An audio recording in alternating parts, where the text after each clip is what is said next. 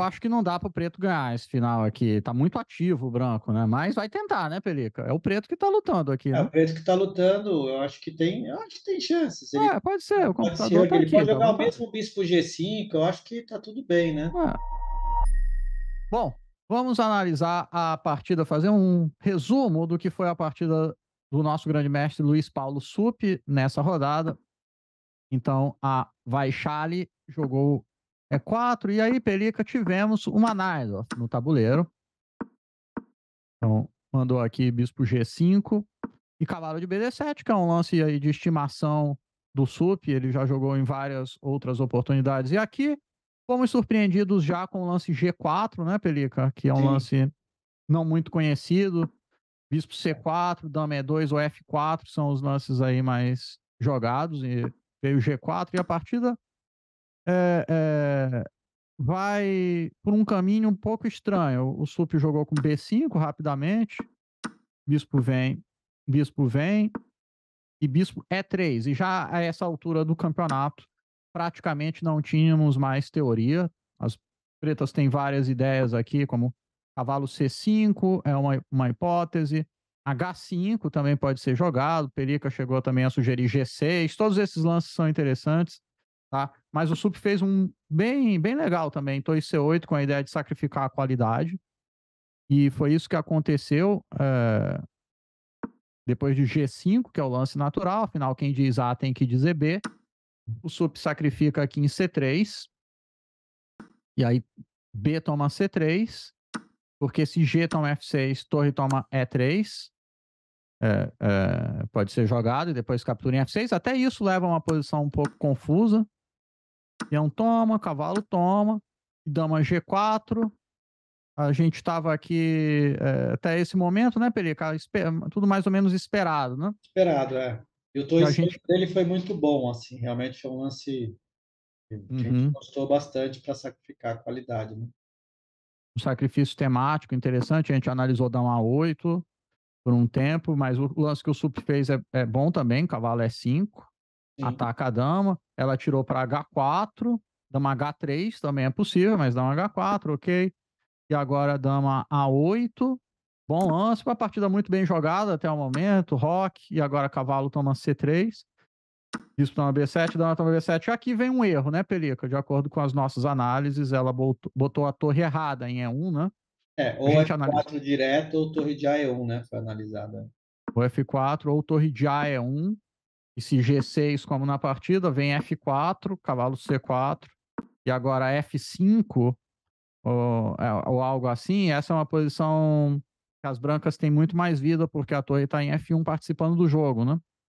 Tá. Do jeito que foi a partida, com torre de F é 1, ela ficou com problemas aqui. Opa, não foi esse o lance jogado. Deixa eu voltar aqui para a partida. Depois de torre F1, ele mandou G6 e F4, cavalo C4.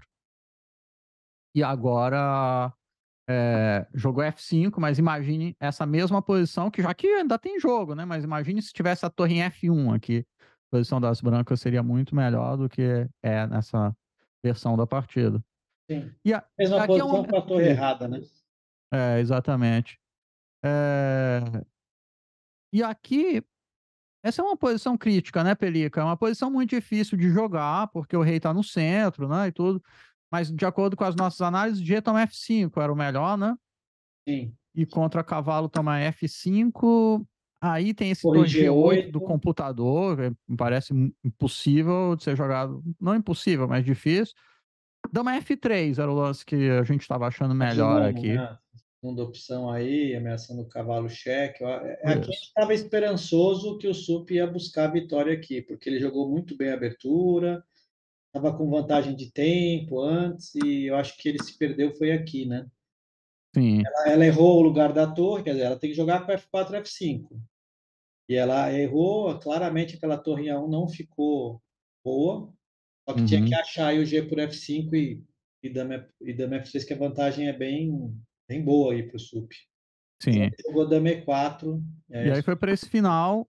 É. É, quer dizer, ela jogou dama H3, que é o melhor, Uhum. né? Não troca ainda, ele tem que tomar em E3, dá uma toma, dá uma toma, torre toma. E aí vai para esse finalzito aqui.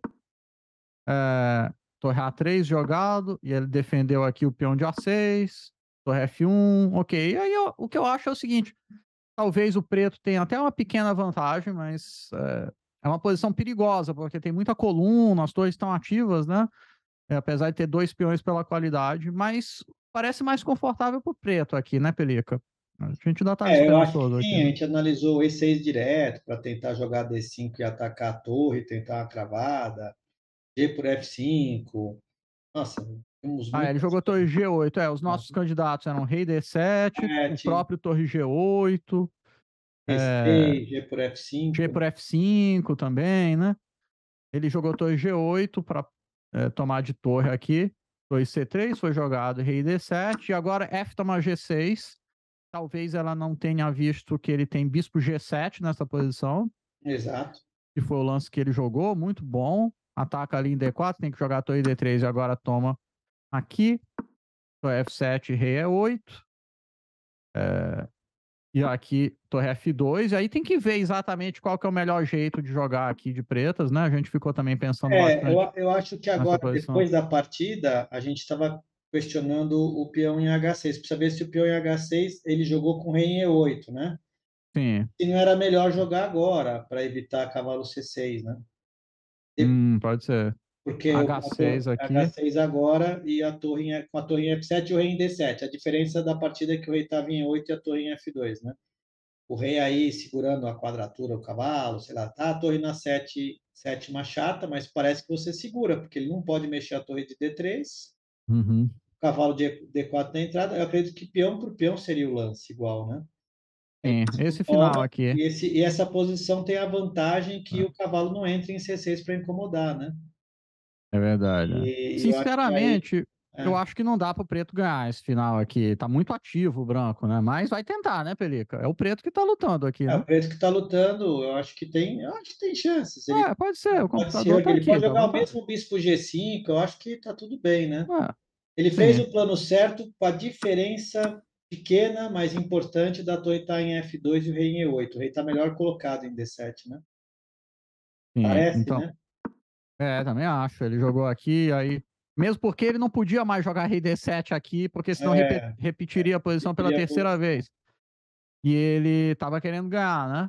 Então ele é, mas daí ele estava apurado de tempo, então ele repetiu uma vez. Talvez ele até possa ter sentido que era melhor jogar esse lance com a D7, mas de fato não podia voltar o rei lá, que aí o empate se concretizava, né? Por repetição. Exato. Então jogou esse, tomou o bispo toma e cavalo C6, que é um lance chato aqui, ciscando. Ele jogou o bispo G5, se rei D7, cavalo E5. É possível, bom, também para empatar, né? Sei lá, rei E6, cavalo C6. Quem tá tentando ganhar é o preto. Sim. Então ele mandou esse aqui. E aí veio torre E2, pelico, estamos chegando no momento crítico. Rei D7, cavalo E5. É, e aqui já ficou mal, eu acho, na verdade, né? Ah, é, esse é um momento que a gente até Acho que é RF7, então, que tem que jogar, Pelica? Não, é, tentar, F3. Tentar, é? Eu acho que tentar RF7 e tapar com bispo F6, né? Não, mas aí torre F3, bispo F6, torre F7. Não, mas espera lá, qual o lance agora? O... É, se F7 você leva ah, esse aqui, ó. Sim. É, não dá. Ah! Será que é isso? E rei G7 agora? Se cavalo toma, torre 8? Não, aí você tá ficando mal também. Cavalo, cavalo toma, torre 8, tem que ver. Eu acho que ir para lá da dama é, parecia ser correto, né? O problema ah. foi o, foi o. Ah, eu acho que você tem que voltar aqui. Na verdade, ele tem que encontrar esses lances finos para empatar. Olha, Pelica. O computador está dizendo que você tem que jogar rei F7, então F3, rei E8. Nessa posição. Então já era bem perigosa a posição dele aqui, tá? Tem que repetir. Tendo que repetir, Isso mas não, não apenas viu, né? A gente viu o rei C8 mesmo, mas aí apareceu um, um golpe ali, né? Aí veio essa bomba aqui, que foi esse é. torre G3, que é, ele não esperava. Aí eu acho que ele, né? E aí, cai, já, né? disse, já disse o poeta, um erro nunca vem sozinho, né? É. Então ele jogou bispo H4, que aí perde de vez aqui para cavalo tomar G6. O lance correto era bispo F6, imagino. Porque se cavalo tomar G6, eu posso agora tirar a minha torre, mas estou perdido aqui também, hein, Pelica? Né? É. Difícil de escapar aqui, mas... posição sem o peão, né? É, exato. E o peão de H vai andar, mas pelo menos eu, sei lá, torre 8, torre G7, não sei. Torre G7, talvez, né? Torre G7 para torre H7, se precisar segurar o peão, coloca o rei É, G7. seria uma chance melhor, né? Exatamente, mas tá difícil. Então depois de bispo H4, cavalo toma G6. E aí ele abandonou porque é, tem que jogar. Se bispo toma G3, cavalo toma E7. Então eu acho que é forçado ele jogar aqui. É... Qual que era o lance mesmo aqui? Não, era bispo por G3, cavalo por E7, rei D7, cavalo por G8 ah. e bispo E5, né? Tentar ah, tipo resistência. É, mas aí, tá... mas é, tá difícil, né? Peão de H tá, tá vindo difícil, e... né? é, não dá. Exato. Então... É, eu acho que o momento crítico mesmo, porque para quem está querendo ganhar foi esse momento. Eu acho que a partida toda foi bem jogada.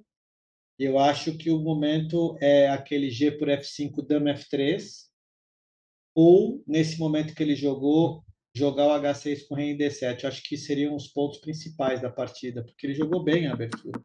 É, a maior, a maior chance que ele teve aqui era nessa posição aqui. É. Ele joga dama E4 que vai para esse final, mas aqui G toma F5 parece que dá bastante vantagem para ele, de acordo com a máquina. Ou, né? Claro, precisaria ser visto com maior profundidade isso aqui, né? Para entender melhor a posição, mas ele estava com uma posição vantajosa aqui, né? É, para questionar. Inclusive, o G por F5 é um dos fatores de não ter a torre em F1, né? Quando joga cavalo por F5, se tivesse a torre de A1 em F1, podia estar nessa mesma posição com a torre de A1 em F1, não tem dama F3, né? Então, ele pode aproveitar essa circunstância.